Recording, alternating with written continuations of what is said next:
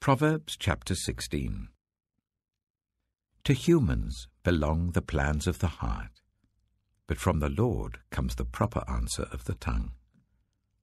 All a person's ways seem pure to them, but motives are weighed by the Lord. Commit to the Lord whatever you do, and he will establish your plans. The Lord works out everything to its proper end, even the wicked for a day of disaster. The Lord detests all the proud of heart. Be sure of this, they will not go unpunished. Through love and faithfulness, sin is atoned for. Through the fear of the Lord, evil is avoided.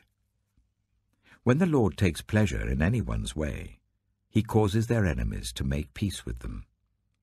Better a little with righteousness than much gain with injustice.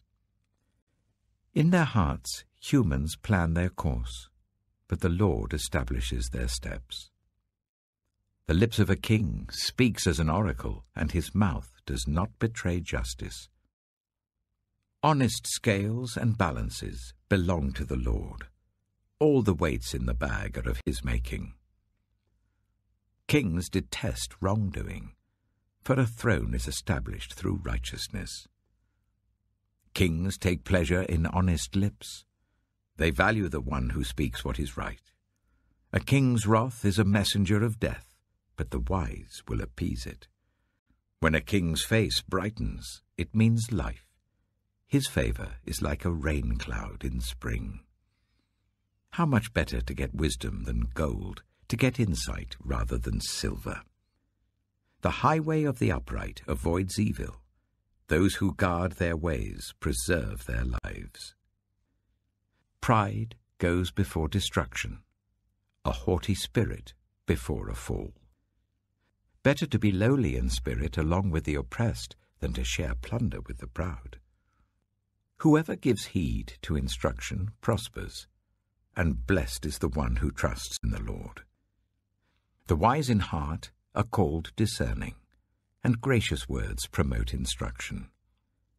Prudence is a fountain of life to the prudent, but folly brings punishment to fools. The hearts of the wise make their mouths prudent, and their lips promote instruction.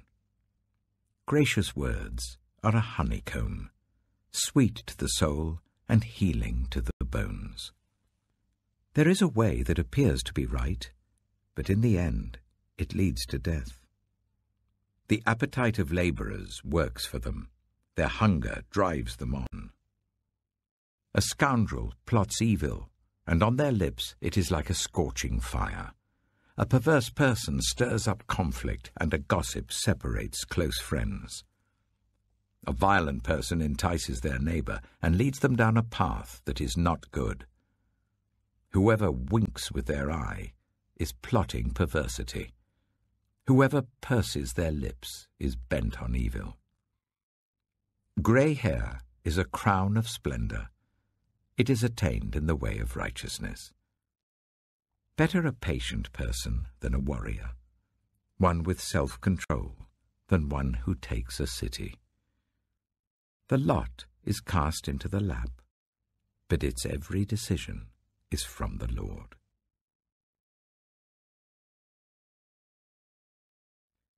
Proverbs chapter 17 Better a dry crust with peace and quiet than a house full of feasting with strife. A prudent servant will rule over a disgraceful son and will share the inheritance as one of the family. The crucible for silver and the furnace for gold, but the Lord tests the heart.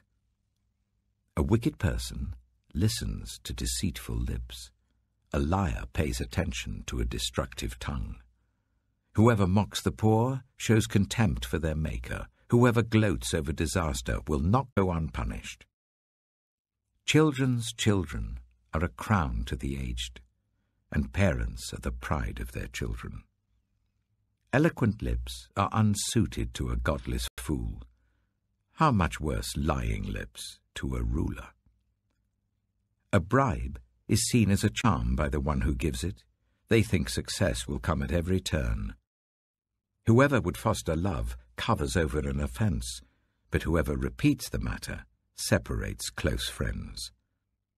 A rebuke impresses a discerning person more than a hundred lashes a fool. Evildoers foster rebellion against God. The messenger of death will be sent against them. Better to meet a bear robbed of her cubs than a fool bent on folly. Evil will never leave the house of one who pays back evil for good. Starting a quarrel is like breaching a dam. So drop the matter before a dispute breaks out. Acquitting the guilty and condemning the innocent, the Lord detests them both. Why should fools have money in hand to buy wisdom when they are not able to understand it? A friend loves at all times, and a brother is born for a time of adversity. One who has no sense shakes hands in pledge and puts up security for a neighbour. Whoever loves a quarrel loves sin. Whoever builds a high gate invites destruction. One whose heart is corrupt does not prosper. One whose tongue is perverse falls into trouble. To have a fool for a child brings grief. There is no joy for the parent of a godless fool.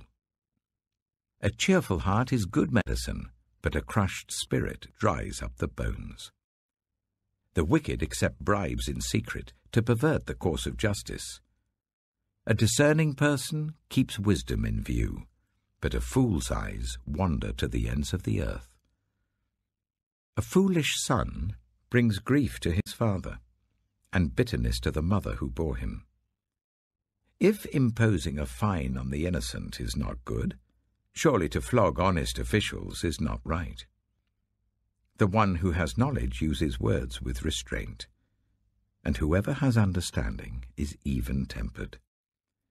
Even fools are thought wise if they keep silent, and discerning if they hold their tongues.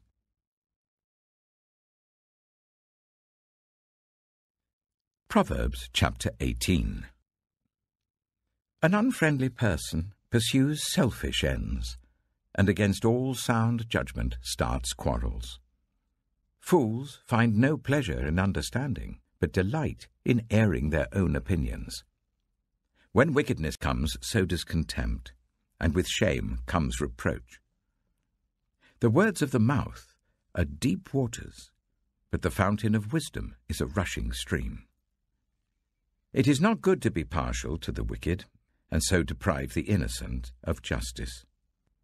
The lips of fools bring them strife, and their mouths invite a beating. The mouths of fools are their undoing, and their lips are a snare to their very lives. The words of a gossip are like choice morsels, they go down to the inmost parts.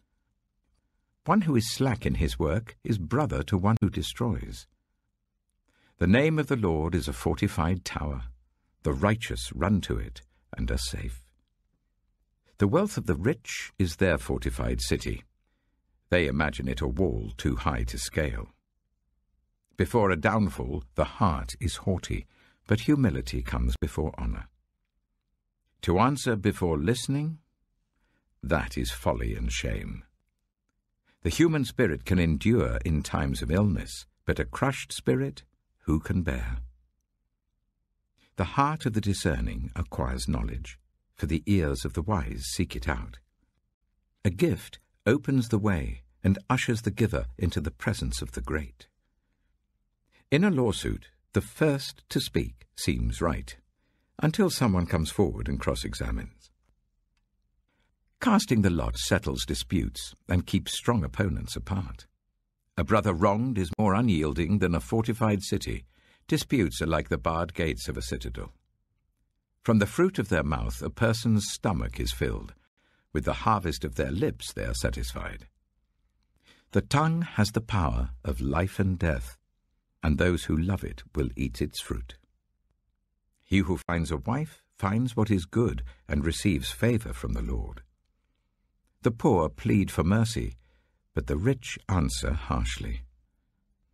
One who has unreliable friends soon comes to ruin, but there is a friend who sticks closer than a brother.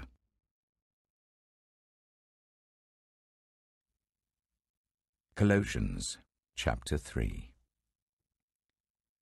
Since then you have been raised with Christ, set your hearts on things above, where Christ is, seated at the right hand of God.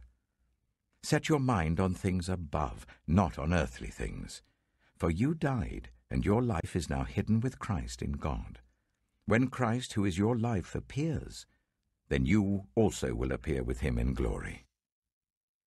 Put to death, therefore, whatever belongs to your earthly nature sexual immorality, impurity, lust, evil desires, and greed, which is idolatry. Because of these, the wrath of God is coming. You used to walk in these ways in the life you once lived. But now you must also rid yourselves of all such things as these anger, rage, malice, slander, and filthy language from your lips. Do not lie to each other, since you have taken off your old self with its practices and have put on the new self, which is being renewed in knowledge in the image of its Creator. Here there is no Gentile or Jew, circumcised or uncircumcised, barbarian, Scythian, slave or free, but Christ is all and is in all. Therefore, as God's chosen people, holy and dearly loved, clothe yourselves with compassion, kindness, humility, gentleness, and patience. Bear with each other and forgive one another. If any of you has a grievance against someone, forgive as the Lord forgave you. And over all these virtues, put on love, which binds them all together in perfect unity. Let the peace of Christ rule in your hearts, since as members of one body you were called to peace, and be thankful. Let the message of Christ dwell among you richly, as you teach and admonish one another with all wisdom through psalms, hymns, and songs from the Spirit, singing to God with gratitude in your hearts. And whatever you do, whether in word or deed, do it all in the name of the Lord Jesus, giving thanks to God the Father through him. Wives, submit yourselves to your husbands, as is fitting in the Lord. Husbands, love your wives, and do not be harsh with them.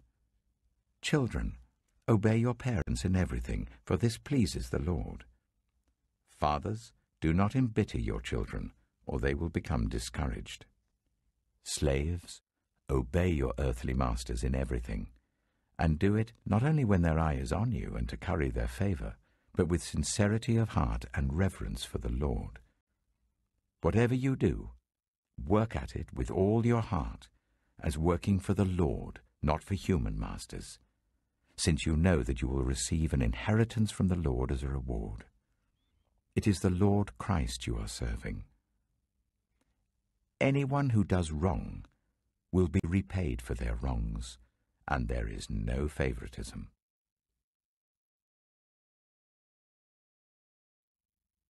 Psalm 45 My heart is stirred by a noble theme as I recite my verses for the king. My tongue is the pen of a skilful writer. You are the most excellent of men, and your lips have been anointed with grace, since God has blessed you forever. Gird your sword on your side, you mighty one. Clothe yourself with splendor and majesty. In your majesty ride forth victoriously, in the cause of truth, humility, and justice. Let your right hand achieve awesome deeds. Let your sharp arrows pierce the hearts of the king's enemies. Let the nations fall beneath your feet. Your throne, O God, will last for ever and ever. A scepter of justice will be the scepter of your kingdom. You love righteousness and hate wickedness. Therefore God, your God, has set you above your companions by anointing you with the oil of joy. All your robes are fragrant with myrrh and aloes and cassia. From palaces adorned with ivory, the music of the strings makes you glad. Daughters of kings are among your honored women. At your right hand is the royal bride in gold of Ophir. Listen, daughter, and pay careful attention.